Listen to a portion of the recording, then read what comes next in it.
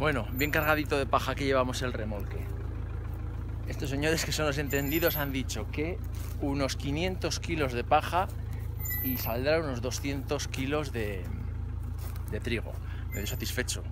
Habiendo plantado 50 kilos, obtener 200, está bien un, una cosa así.